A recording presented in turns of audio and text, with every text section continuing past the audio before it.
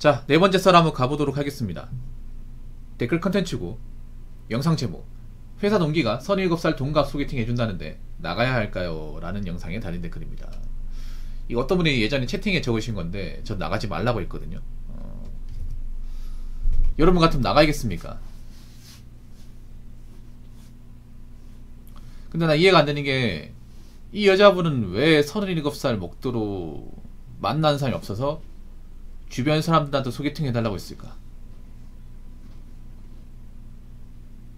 근데 보통 같으면 저 나이 되면 소개팅도 안 되고 뭐도 안 됩니다. 선짜리도 안 되고. 그래서 여자분들이 괜히 계정사 웃돈 주고 가입하는 게 아니에요.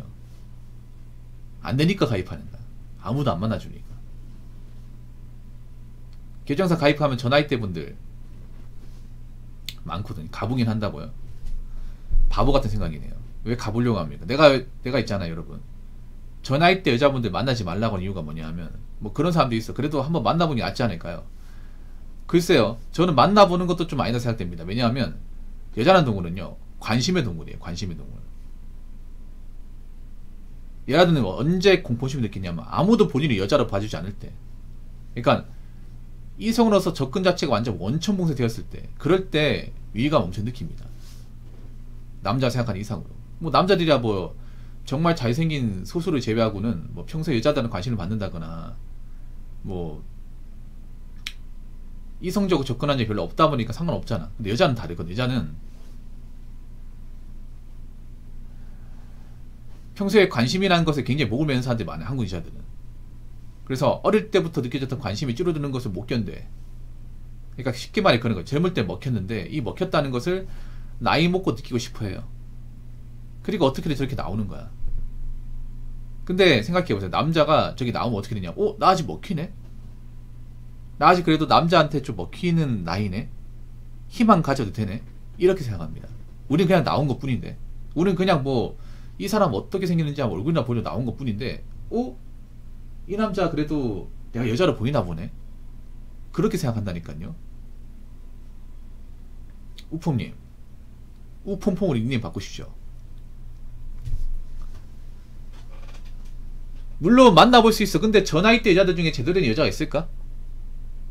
여러분 그냥 심심하니까 나가는 거예요. 할 거 없으니까 그냥 얘네 나가나 보자. 바람에 쐬져 나가는데 굳이 저런 분들 만나면서 바람 쐬고 싶어? 그 저런 분들이 과연 간단하게 그냥 뭐 대화만 안 하고 끝낼 걸로 생각하십니까? 안 끝냅니다. 보통 여자가 저 나이 먹으면 속물 중에 속물이 됩니다. 속물. 속물 만렙이 돼요. 속물 만렙이 뭐냐 하면 남자 한 번 만나면 이것저것 빼먹으려고 합니다. 이것저것 간보고 빼먹으려고. 저런 분들이 자기가 계산하겠냐고.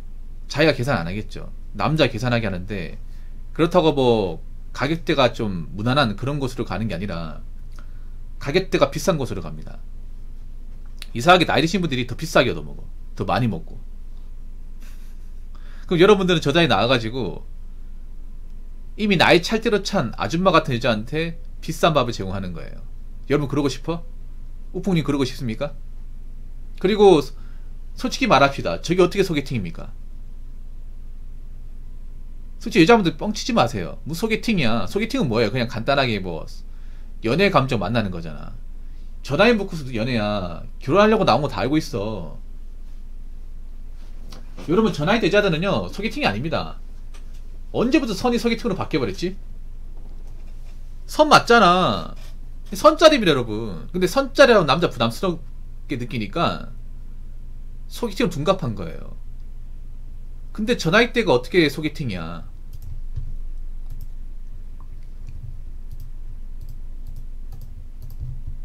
아니 여자가 저 자리 나와가지고 뭐 이것저것 안 떼질 것 같아요? 뭐 연봉 얼마나 버냐. 결혼 생각 있냐. 안 물어볼 것 같아. 물어봅니다. 왜냐?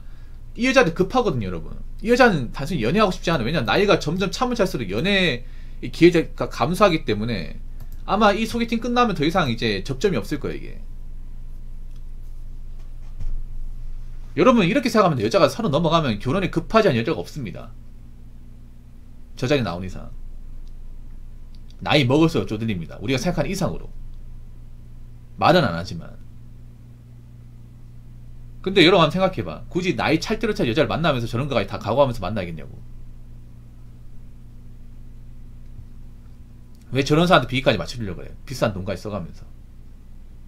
이미 저런 분들이 이 남자 저 남자 다 만나서 비교 대상이 많단 말이에요, 이게. 여자가 나이 먹으면 안 좋아지는 게 연애 경험이 많아지다 보니까 오히려 과거에 만났던 남자 자꾸 비교하거든. 줄 세운단 말이야. 자기들은 대단할 게 없는데, 맞잖아요. 여자들이 망가진 게 저런 거야. 나이 먹으면 여자는 무조건 떨어지게 돼 있거든. 가치가 떨어지는데 본인이 떨어지는 가치를 생각 안 하고 내가 그동안 거쳐갔던 남자들을 데이터베이스 삼으면서 이 사람보다 더 좋은 남자 만나야지. 이 생각한단 말이야. 쫓기지 않나요, 여러분? 아니, 상품 가치가 떨어지는데 더 비싼 가격을 받으려고 하는 게 말이 되냐고. 이게 망가진다는 거야. 이런 여자들밖에 없다고요. 굳이 내가 급하다고, 내가 외롭다고 이런 여자 만나야겠냐고. 만날 필요가 없습니다. 그냥 저분들한테 당신은 결혼 연애 대상 아무것도 아니니까 그냥 본인이 가시고 이제 그 나이 먹었으면 결혼 내놓으시죠. 뭐하러 나오십니까? 뭐하러 희망 가지시나요? 앞으로 결혼 못할 것 같은데 그냥 혼자 살 궁리 좀 하시죠. 괜히 이런 데 나와가지고 관심 받으려 하지 마시고 여러분 그렇다니까요. 여자분 잘 들으세요. 이제 저 나이 되면 저 나이가 아니라 33살, 4살 되면 이제 포기해야 돼. 제가 봤을 때 한 91년생 되면 포기해야 돼. 91년생 정도만 되더라도. 결혼 좀 낳아야 됩니다. 만난 사람 좀 낳아야 돼. 놓기 싫어도 낳아야 됩니다. 왜냐, 이제 남자들이 안 만날 거거든. 안 갈 거거든요. 근처로 안 갈 거란 말이야. 더 걸을 거란 말이에요. 점점 메워지고 있고, 남자들이.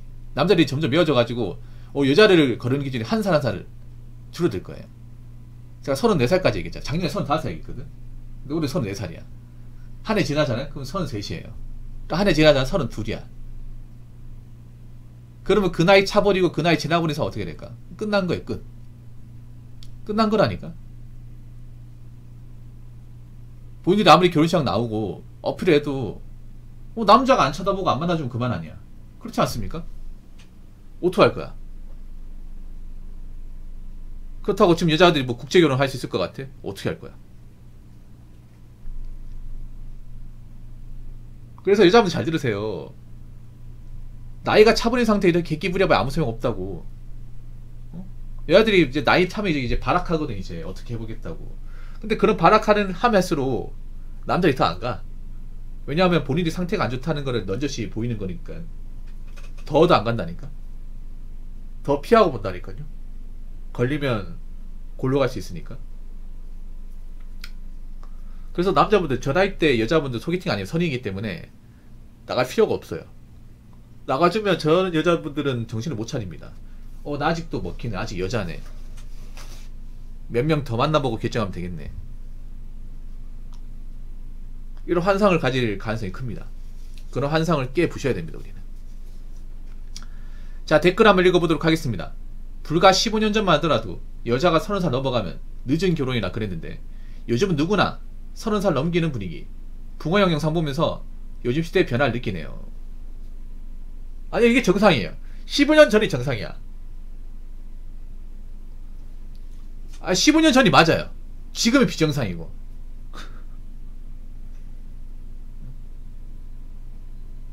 서른 살 넘어가면 여자 위험하다.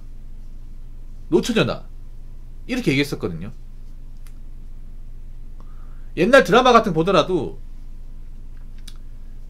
만약 여자 배역이 31살이라 하면 대놓고 노처녀라고 했습니다. 집에서 걱정했어요. 야, 저 만날 사람 없으면 선이라도 봐. 어?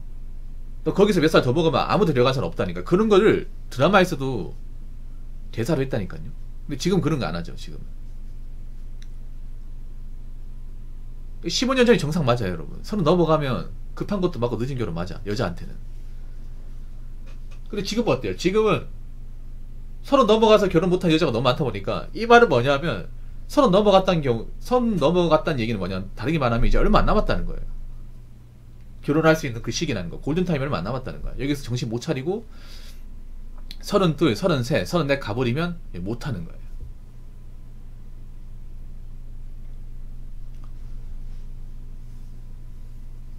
왜냐 남자들이 안 받아준 그 말이잖아. 지금 웃긴 게 뭐냐면 지금 최근 나온 통계를 보면 여자들 평균 초원 연령도 31.4예요. 이것도 만 이것도 이제 만 나이니까 한국 나이로 하면 한 33살 되는 거야. 근데 생각해봐 결혼 코스를 얼마 안 맞다 말이야. 그럼 그 말은 뭐냐 하면 지금 30대 접어든 분들 중에 상당히 많은 여자들은 결혼 못 한다는 거야. 거기서 몇 년 차버리면. 근데 여자들은 상태 파악 못 하는 게 그런 말이에요, 여자들끼리. 아직 애기네, 아직 젊, 젊네, 아직 더 놀아도 되겠네, 이런 얘기 합니다. 웃긴 게 남자들은 그런 얘기 안 하거든. 아니, 여자분들. 남자한테 물어, 남자한테. 여자 서른들 어떻게 하면, 야, 위험해. 야, 정신 차려. 너 거기서 몇 년 지나잖아? 아무도 못 만나. 너 같은 애 만나줄 것 같아? 정신 차려, 이거 사. 야, 너 돈 얼마나 있어? 야, 그밖에 없어? 너 그런 남자한테 이것저것 바라지 마. 정말 결혼하고 싶으면 너 별로 대단한 여자 아니야. 남자는 이렇게 얘기할 건데 꼭 여자들끼리 모여가지고 야 괜찮다. 어?